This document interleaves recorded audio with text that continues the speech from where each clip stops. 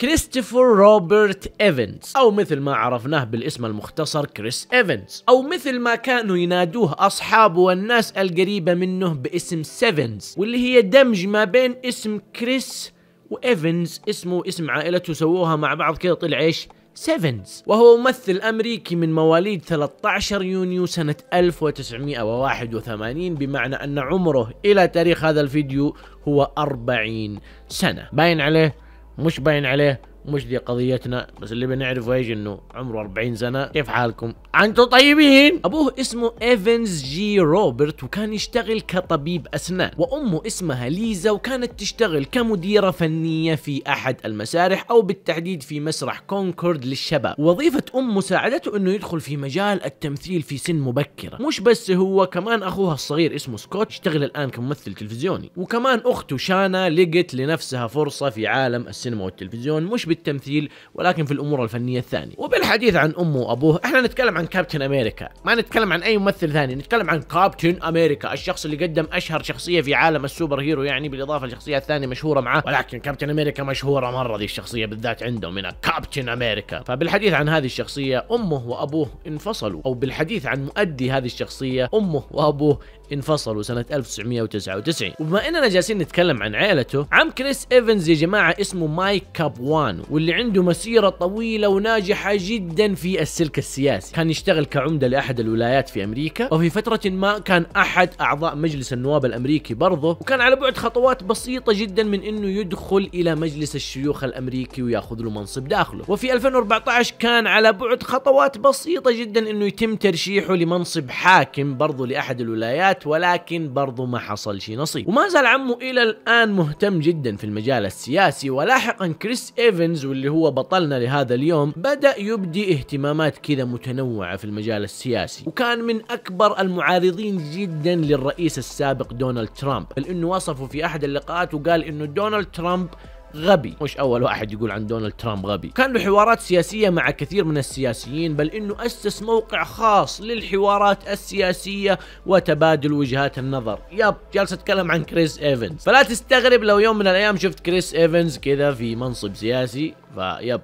ما هو بعيدة ترى. الولد عنده اهتمامات في السياسة فما تدري ممكن يعمل. لأنه عمه عملها إيش اللي يمنعه هو؟ كريس إيفنز يا جماعة ولد على الديانة المسيحية ولكنه حاليا يعني في فترة ما من الزمن هذا صرح وقال إنه ما يؤمن بالمسيحية كثير وإنما يؤمن بالبوذية. هو مش بوذي رسمي يعني ما يقول لكم إنه بوذي 100% أوكي في فترة من الفترات جلس حوالي ثلاثة أسابيع في أحد المعابد البوذية يتعلم تعاليمهم والأشياء الثانية الخاصة فيهم ولكنه ما يؤمن بالبوذية بشكل كامل يعني ما يمارس طقوسهم حاليا ويؤمن بالفلسفة البوذية وأفكارها ويشوف إنها أقرب شيء للمنطق من وجهة نظره بل إنه يشوف إنه البوذية هي أكثر شيء يتوافق مع تفكيره هو فهو بوذي بس مش بوذي. فهمتوا الفكرة يا جماعة؟ خلاص. كريس إيفنز يا جماعة من طفولته كان عنده هوس شديد جدا في ديزني وعالم ديزني بشكل عام. يقول كريس إيفنز إنه عاش طفولة جدا طبيعية وحياة كريمة ما فيها أي خلاف ولكن في بداياته وفي طفولته كان مهووس جدا في الرسم والفضل يرجع إلى شركة ديزني. فكان يجلس لحاله في غرفته ويرسم شخصيات ديزني أو شخصيات خيالية تطرأ عليه. بل إنه كان أحد أحلامه يوم هو طفل إنه يصير رسام رسوم متحركة إنه يرسم رسوم متحركة إنه يصنع رسوم متحركة. حتى لما وصل إلى سن المراهقة كان برضه ما زال مهووس بعالم ديزني. يا عمي أقول لكم حاجة قبل ما يصير ممثل مشهور وإلى يومنا هذا الولد ما زال مهووس جدا في عالم ديزني وكل شيء له علاقة بديزني. لدرجة يقول كريس إيفنز إنه عندي عداد تنازلي. عندنا كذا جمعة عائلية سنوية تحصل مرة واحدة في السنة. نتجمع كل أسرتنا وأطفالنا وعائلتنا وكل واحد في بيتنا ونطلع إلى ديزني لاند. من قوة الحماس ومن كثر مرة ما يحب هذا اليوم يوم ديزني اللي مرة واحدة في السنة يقول حاط له عداد تنازلي. كل فترة يشيك عليه كم باقي على زيارتنا لعالم ديزني. yep كريس إيفنز اللي عمره 40 سنة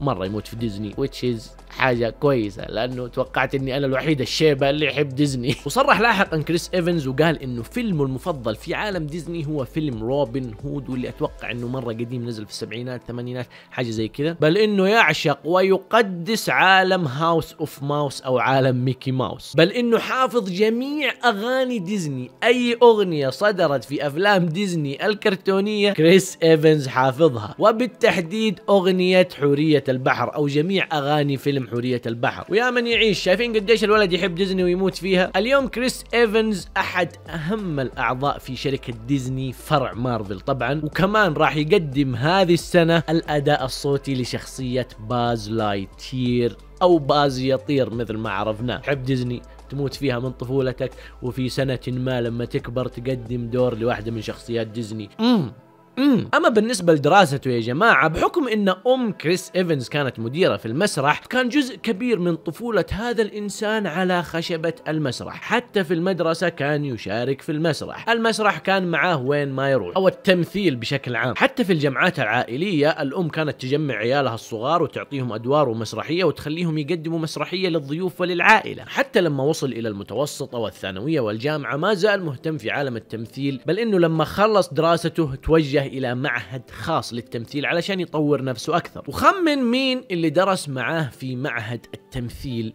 وقتها. خمن مين الصديق اللي تعرف عليه كريس إيفنز في هذا المعهد الخاص بالتمثيل بعد المدرسة. يمكن خمنت يمكن ما خمنت بس أحب أقول لكم إنه سكارليت جونسون درست مع كريس إيفنز في نفس المعهد الخاص بالتمثيل. ومن يومها وإلى يومنا هذا كريس إيفنز وسكارليت جونسون تربطهم صداقة جدا قوية. تخيل تدرسوا مع بعض من يوم أنتم صغار تكبروا مع بعض في عالم ديزني والحاجات ذي وفجأة واحد منكم يصير كابتن أمريكا والثانية Black Widow وتظهروا في نفس الفيلم. يقلع أم أم الحظ والحياة حلوة. بسم الله عليهم ما شاء الله. أما من ناحية دخوله إلى عالم التمثيل فمثل ما قلت لكم الولد من يوم هو صغير يحب المسرح وظهر في مسرحيات كثيرة وفي إعلانات كثيرة وفي أشياء بسيطة. فبحكم خبرته وعلاقاته في المسرح عن طريق والدته قدر إنه يدخل إلى مجال السينما والتلفزيون من أوسع أبوابها ومن دون أي تعب. يعني مش زي بعض الممثلين اللي حكينا قصتهم يسافروا يتهجولوا ويشتغلوا ويتشردوا في الشارع فترة. لا كريس إيفنز المسرح موجود جنبه من يوم هو صغير قريب منه. التمثيل في جيبه ما في عنده مشاكل. أول ظهور له كان في سنة 2000 في مسلسل قصير اسمه The Opposite Sex تخيلوا إنه هذا أول دور له كان دوره اساسي عمره وقتها كان تقريبا 20 سنة فأول ظهور له رسمي في عالم السينما والتلفزيون أو في عالم التلفزيون بالتحديد لما كان عمره 20 سنة. قبل 20 سنة كل تجاربه كانت في المسرح وفي الإعلانات وفي الأدوار البسيطة. من بعد هذا المسلسل أو بالتحديد من أول مشاركة تلفزيونية له الولد بدأت تجيه عروض بشكل مستمر وعروض بسيطة وبعضها كويسة. بل إنه بعد هذاك المسلسل صار عنده وكيل أعمال خاص فيه يرتب له تجارب أداء ويضبطه. وخلال خمس سنوات من أول ظهور له في عالم عالم السينما والتلفزيون قدر كريس إيفنز إنه يحصل على أول دور له كبطل خارق في فيلم Fantastic Four سنة 2005 واللي بالمناسبة هذا الدور بالتحديد سبب له إشكاليات كبيرة بعدين مع مارفل بنتكلم عنها بعد شوية. وبالرغم من أنه سلسلة Fantastic Four ما كانت شيء ضخم بل أنه شيء يعني عادي ويمكن أزود من عادي شوية. إلا انه مشاركته في هذاك الفيلم أعطته شهرة وسمعة جدا كويسة في هذيك الفترة. بعدها بكم سنة برضو يعني تقريبا 2005 6 7 8 9 أربع سنوات ظهر في فيلم اسمه Push سنة 2009 واللي كمان قدم فيه دور بطل خارق. وقصة الفيلم كذا تتكلم عن عالم تحاول الحكومة فيه السيطرة على الأبطال الخارقين وتجنيدهم. ما كان الفيلم ضخم من ناحية التقييم بس للأمانة أفتكر تابعته زمان واستمتعت فيه. فإذا أنتم تحبوا الأشياء اللي فيها أبطال خارقين وزي كذا تابعوا عموما اللي بقوله لكم إنه فيلم Fantastic Four وفيلم Push اضافت له خبرة في عالم الأبطال الخارقين. فبعد المشاركتين هذولي أو بالتحديد بعد خمس سنوات من المشاركة الثانية له كبطل خارق وصل لكريس إيفنز أهم دور.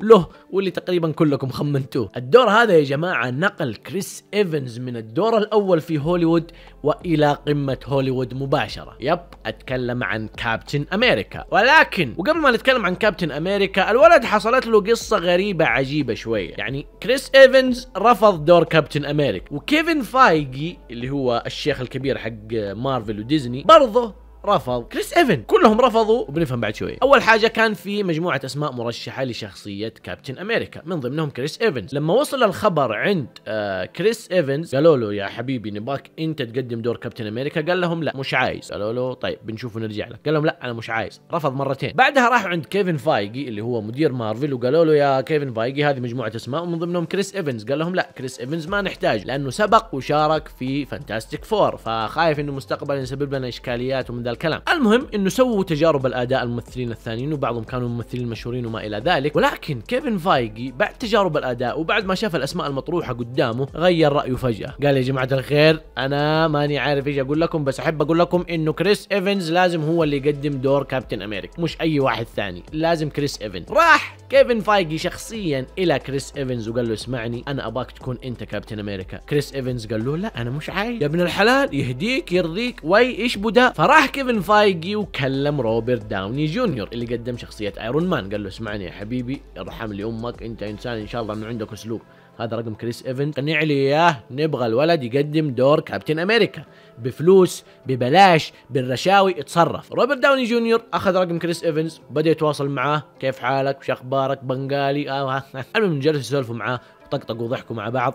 وفي النهاية قدر روبرت داوني جونيور إنه يقنع كريس إيفنز إنه ياخذ دور كابتن أمريكا. والله بالفعل وافق كريس إيفنز إنه ياخذ الدور فراح قال كيفن فايجي كم فلوس أنا يهمني الفلوس الحين. فايجي قال له اسمع أنا حأدلعك بس حأدلعك بشكل تدريجي. قال له إزاي حدلعني بشكل تدريجي؟ قال له يعني أول ظهور لك ككابتن أمريكا لك مني عقد بقيمة 300 ألف دولار. أحا قليل يا أبو فايجي 300 ألف جالس تقرطني لك سنة. فايجي قال له اصبر علي حأدلعك حأظبطك شيطان. فايجي فايجي شيطان يقيس اختبار نجاح الشخصية وعلى ضوءها يبدأ يطلع الأرقام قال له ما عليك. أول فيلم حاعطيك 300 ألف. بعدها بكم سنة عندنا فيلم اسمه Avengers واللي راح ينزل في 2012 الفيلم ذاك راح أعطيك عليه عقد بقيمة 2 مليون دولار. إيش تبغى أكثر؟ ولحظة لحظة قبل ما تتكلم وقبل ما تزعل. بعدها بكم سنة بينزل فيلم اسمه Captain America and the Winter Soldier ولك مني عقد بقيمة 3 مليون دولار ونص. ولا تزعل كمان. بعدها بكم سنة؟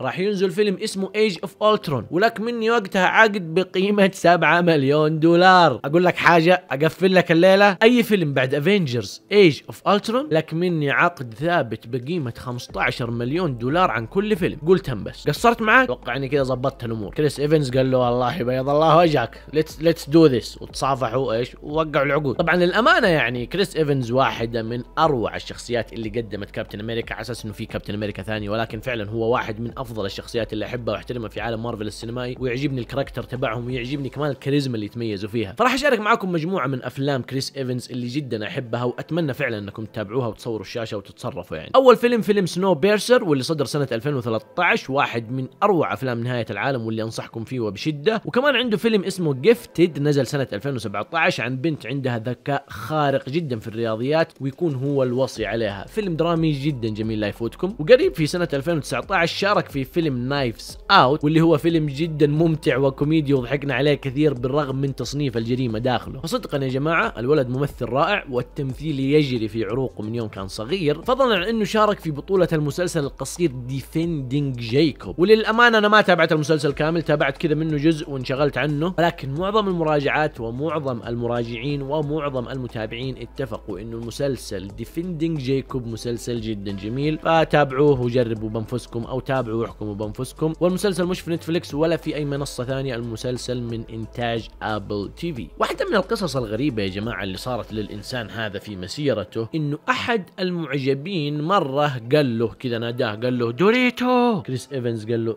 تكلم معايا أنا دوريتو.